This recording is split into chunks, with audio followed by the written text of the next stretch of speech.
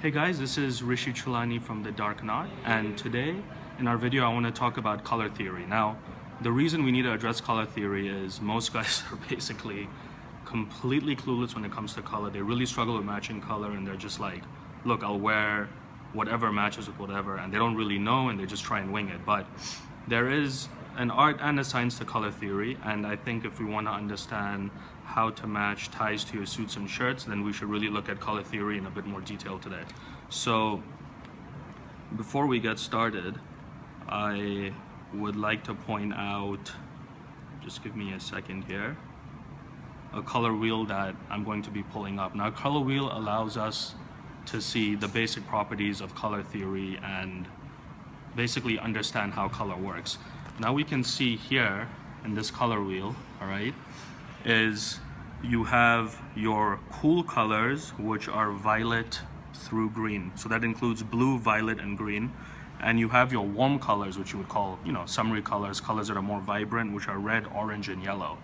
Now the goal, again, you can pull this up on anything, uh, you know, um, anywhere on Google Images, and you'll find tons of color wheels. Again, you have blue, green, and violet as your cool colors, and you have red, orange, and yellow as your warm colors.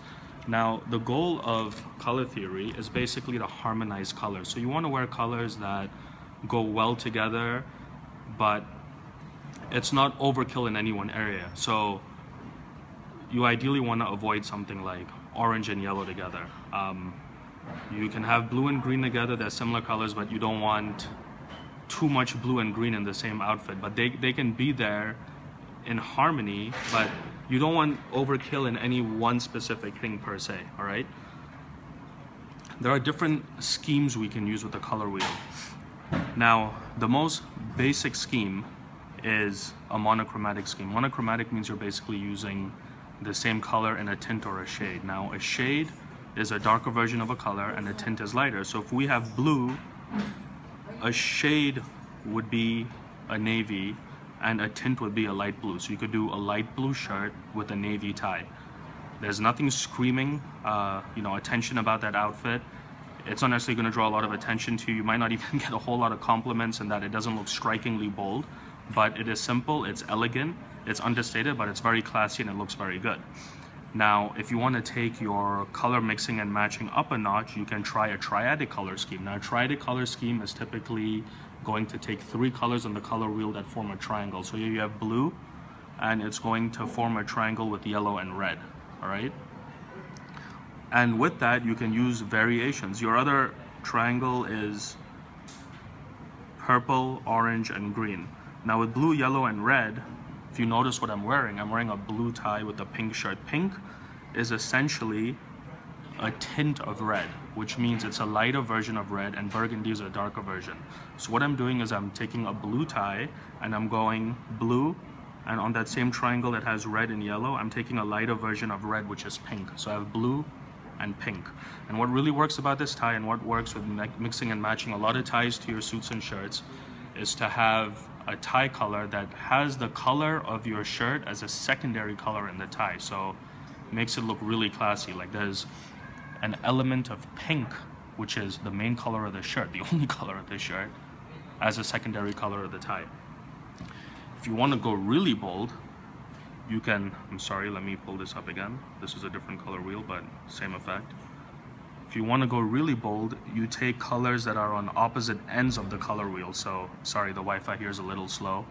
But basically, blue and orange are on opposite ends of the color wheel. And so that's going to create the most contrast so are red and green and purple and yellow. I would generally reserve red and green for Christmas or if you're Craig Sager. For those of you that watch sports, you know how bold Craig Sager's outfits are. Or I would do, you know, basically blue and orange I think is a really good contrast, but it's very, very bold.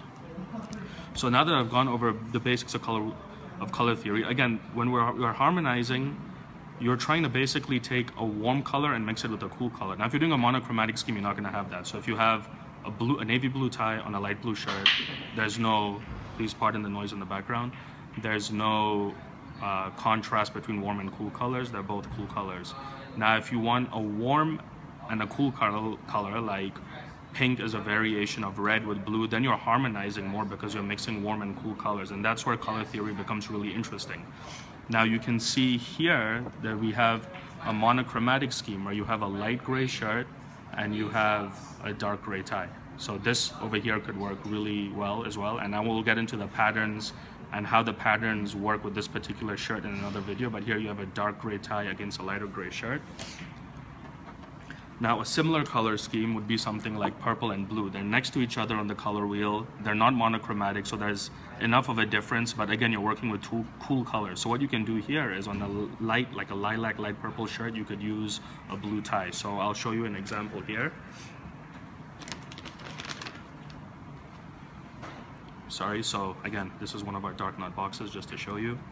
And you can see, nice packaging, we even have a card with recommendations for matching suits and shirts along with tie clips. Just wanted to show you that.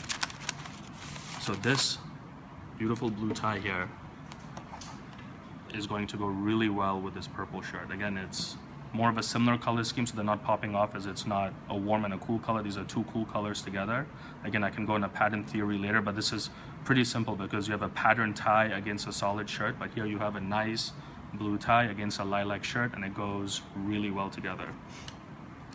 Now in my last example, I'm taking a mixture of a monochromatic and triadic color scheme. Triadic color scheme is where the three colors form a triangle.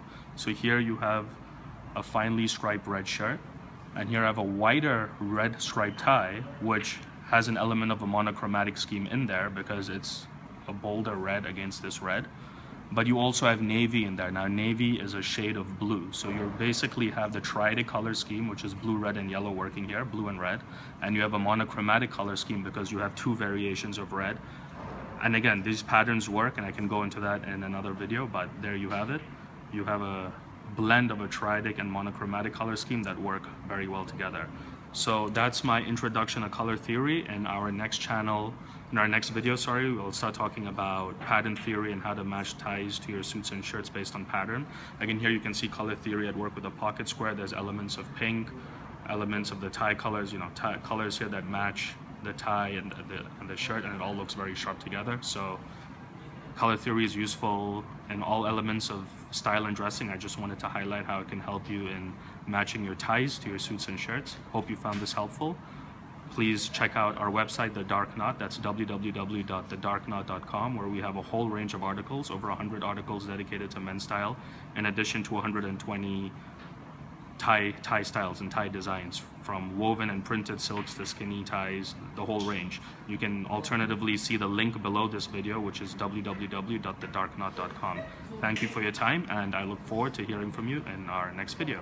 Bye bye